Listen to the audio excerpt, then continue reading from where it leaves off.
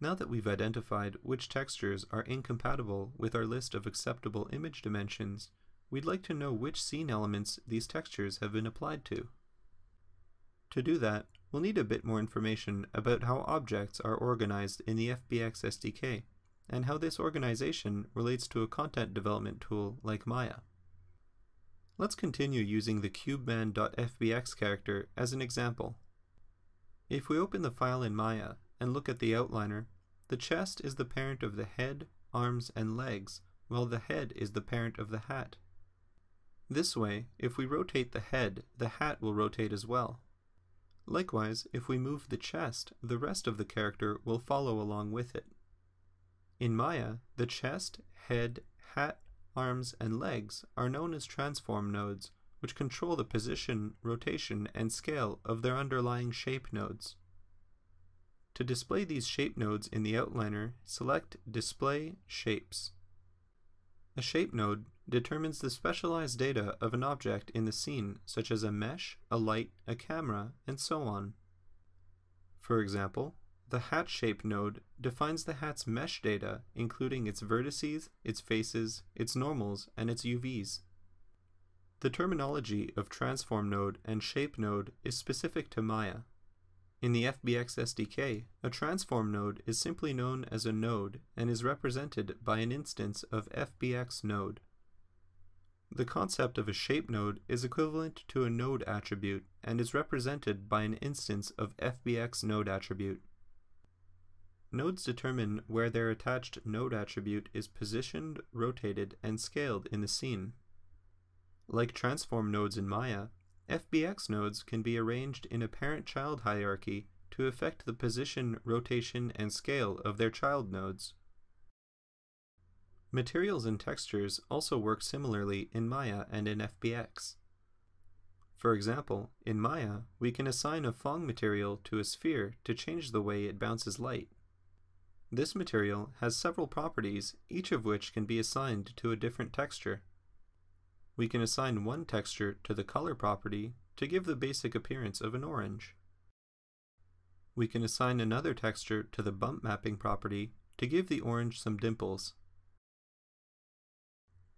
In the case of our character, the chest, head, arms, and legs have all been unwrapped in the same UV space and have all been given the same Cube Man matte material.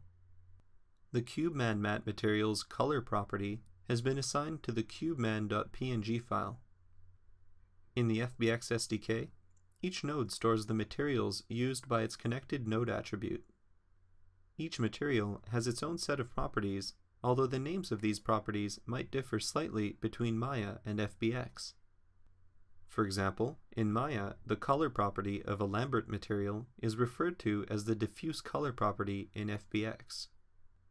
Like in Maya, FBX material properties can also be connected to textures. In part 1 of this tutorial, we discovered that the hat.png texture was incompatible with our list of valid image dimensions.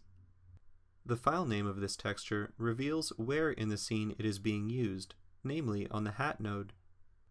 However, you can imagine a more complex scene including many textures whose file names do not follow an obvious naming pattern. In such a case, it may be very tedious to manually identify which texture is being used by which node. To automate this task in our Python FBX program, the idea is to start at the root node and to inspect each node in the scene's parent-child hierarchy. For each node, we'll check whether or not one of the material's properties is connected to one of the invalid textures. If it is, we'll print the path of that node in the hierarchy. To start, create a function called findTexturesOnNodes, which accepts a node, a dictionary of textures, and a current path list. We'll use this list to keep track of the current node path in the scene graph.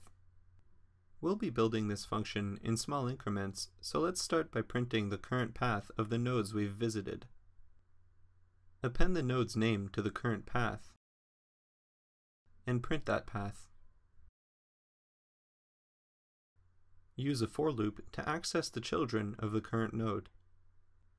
Here, node.getChildCount returns the number of children of the current node. node.getChildI returns the node's child index at i. Outside the for loop, call currentPath.pop to remove the last element of the current path list. The paired calls to append and pop ensure the current path contains the correct node names for the given depth in the scene graph. Outside the function, call find textures on nodes using the scene's root node and the dictionary of invalid textures we created in part 1. When we run the program, the path of each node in the scene is printed to the console.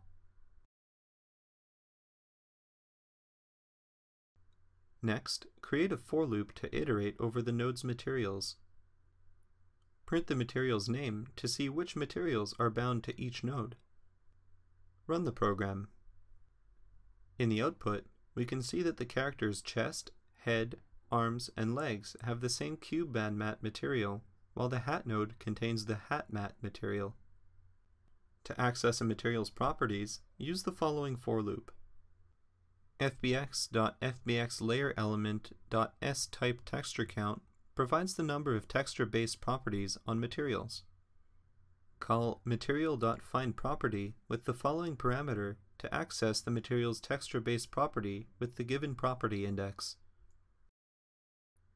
Some material properties are nameless, so we'll filter those out with a simple if statement and print the names of the remaining properties. Running the program now outputs the properties of each material. To iterate over the textures connected to a property, use the following for loop. The connected texture is obtained with a call to property.getSRC object using the FBX file texture class ID and the current texture index. Print the texture's file name with texture.getFilename. When we run the program, we can see that the textures are only connected to the diffuse color property. The next step is to identify the paths of the invalid textures. Let's get rid of our previous print statements and only print the texture's path if its file name is in the texture dictionary.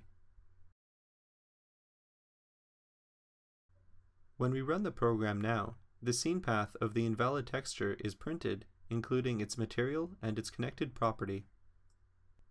You should now have a good idea of how to navigate the scene graph using the Python FBX SDK and how to access a node's material and texture information.